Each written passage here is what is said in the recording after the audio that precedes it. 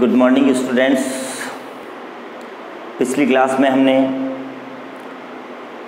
वर्ण व्यवस्था, आश्रम व्यवस्था और पुरुषार्थ की बात की थी। इनमें एक चीज़ कॉमन देखने को मिली होगी आपको कि वर्ण भी चार ही थे, पुरुषार्थ भी चार ही और आश्रम भी चार ही माने गए हैं। तो वर्ण व्यवस्था के अंतर्गत हमने बात की थी कि चार वर्ण थे समाज में जिनमें ब्राह्मण, क्षत्रिय, वैश्य और शूद्र, ये चार वर्ण थे। इसी प्रकार से आश्रमों में चार आश्रम थे। ब्रह्मचर्य, गृहस्थ, वानप्रस्थ और संन्यास आश्रम और पुरुषार्थों में हमने बात की थी कि चार पुरुषार्थ माने गए हैं, धर्म, अर्थ, काम और मोक्ष।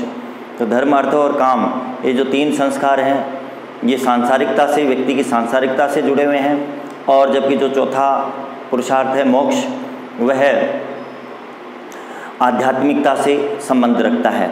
आगे हम आज हम बात करेंगे लेक्चर 19 में संस्कारों की। तो देखिए, जिस प्रकार से पुरुषार्थों की और आश्रम व्यवस्था का विधान हमारे धर्म ग्रंथों में किया गया है, उसी प्रकार से संस्कारों का प्रावधान भी धर्म ग्रंथों में मिलता है। अब ये प्रावधान क्यों किया गया है? विद्वानों द्वारा ये माना जाता है कि प्राचीन जो हमारे ऋषि मुनि थे, वो ये मानते थे कि व्यक्ति जब जन्म लेता है तो वो शुद्र के रूप में लेता है, अर्थात एक तरह से अज्ञानी और अपवित्र होता है।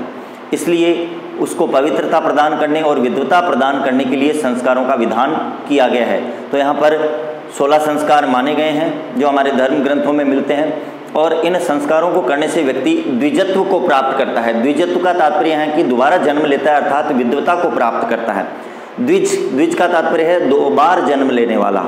या अर्थात दोबारा जन्म लेने वाला। तो एक प्रकार से व्यक्ति का संस्कारों को करने के पश्चात एक तरह से दोबारा जन्म होता है। उसको ज्ञान प्राप्त होता है और वे विद्वता को वह प्राप्त करता है। तो यहाँ पर जो सोलह संस्कार दिए गए हैं, उनके हम अभी थोड़ी देर में बात करेंगे।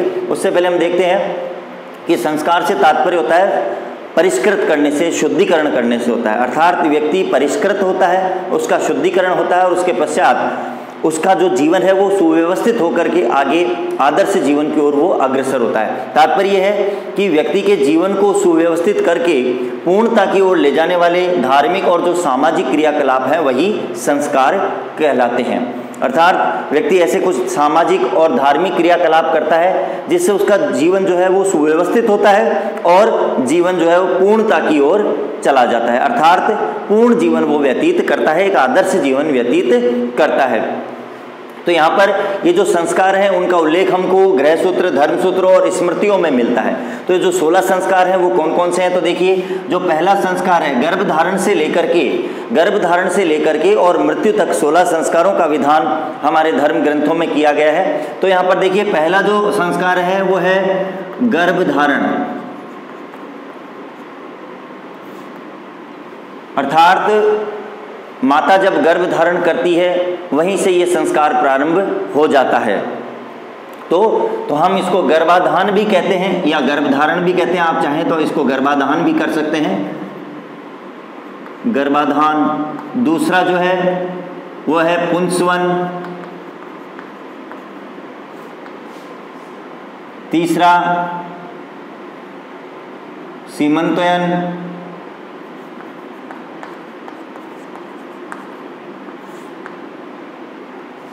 चौथा जातकर्म। पांचवा नामकरण। छठा निष्क्रमण।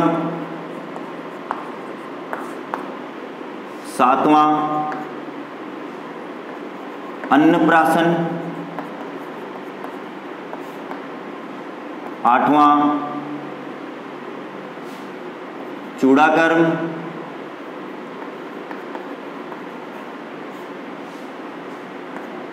नवा कर्णवेदन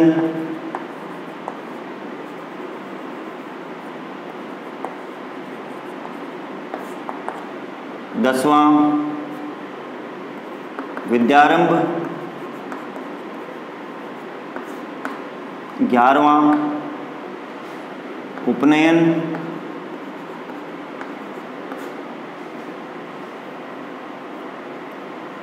बारवा वेदारंभ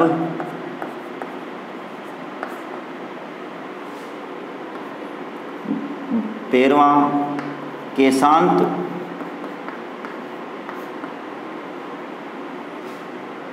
चौदवा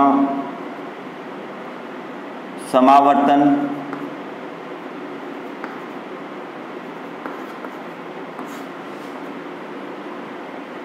पंद्रवा विवाह और सोलवा अंत्येष्टि।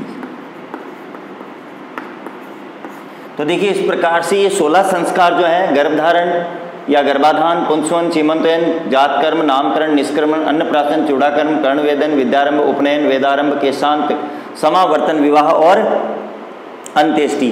ये सोलह संस्कारों का विधान हमारे धर्म ग्रंथों में किया गया है और इसी क्रम में ये चलते हैं। सबसे पहले माता गर्भ धारण करती है उसके पश्चात पुंसवन उसके पश्चात सीमंतयन फिर जातकर्म फिर नामकरण। इस प्रकार से ये क्रम से ये सोलह संस्कार आ, जो है वो इनका विधान मिलता है।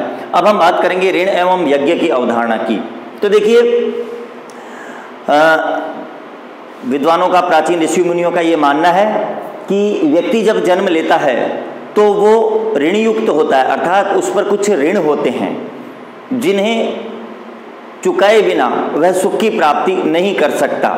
ऋग्वेद में भी जो ऋणों का उल्लेख है, वो लौकिक और पारलौकिक दोनों संदर्भों में मिलता है। ऋग्वेद के अंतर्गत इस बात का उल्लेख मिलता है कि व्यक्ति जब जन्म लेता है तो वो ऋण युक्त होता है, अर्थात उस पर कुछ ऋण होते हैं और इन ऋणों को जब तक वह नहीं चुकाता, तब तक उसको सुख की प्राप्ति नहीं होती, ना तो इस लोक में और ना ही परलोक में। तो यहाँ पर तीन ऋणों की अवधारणा दी गई है कि व्यक्ति के ऊपर जन्म लेते ही उसके ऊपर तीन ऋण होते हैं, ऋषि ऋण, देव ऋण और पितृ ऋण।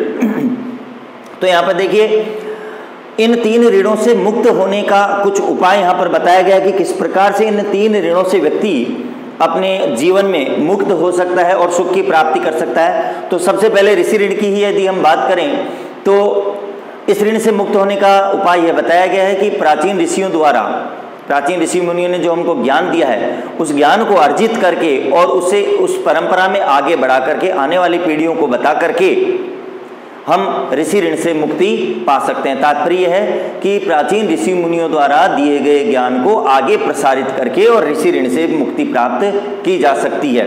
दूसरा है आपके देव ऋण तो देवताओं का भी हमारे ऊपर ऋण होता है। तो देवताओं के ऋण से मुक्ति पाने के लिए व्यक्ति को यज्ञ आदि कर्मकांड करने चाहिए और इसके साथ साथ देवताओं की स्तुति, प्रार्थना आदि करके वो इस ऋण से मुक्ति पा सकता है। इसी प्रकार से पितृ ऋण की यदि बात करें तो व्यक्ति जो है संसार में आने के पश्चात संतानोपत, संतानोत्पत्ति के द्वारा, अर्थात मानव जाति की निरंतरता को बनाए रख करके इस ऋण से मुक्ति पा सकता है। तो तात्पर्य है कि इन तीनों ऋणों से मुक्ति पाने का उपाय भी इसमें साथ साथ दिया गया है और यह भी बताया गया है कि जब तक इन ऋणों से मुक्ति व्यक्ति प्राप्त नहीं करता, तब तक न तो इस लोक में और न ही परलोक में उसको सुख की प्राप्ति हो सकती है। अतः सुख की प्राप्ति के लिए उसे इन तीनों ऋणों से मुक्त होना आवश्यक है। तो आज हमने बात की संस्कारों की और ऋण व्यवस्था की। आगे हम बात करेंगे ऋण और यज्ञ की जो अवधारणा के अंतर्गत है। यज्ञ के विषय में पंच महायज्ञ बताए गए हैं कि व्यक्ति को अपने जीवन में रहते हुए कुल पाँच यज्ञ करने चाहिए। ये दैनिक, कुछ इनमें दैनिक यज्ञ आते हैं और ये इन यज्ञों के माध्यम से व्यक्ति अपने जीवन को आदर्श दिशा की ओर ले जा सकता है। तो इसकी चर्चा हम नेक्स्ट क्लास में करेंगे। उम्मीद करता हूँ कि आपको ये चीज़ें समझ में आ गई होगी। धन्यवाद।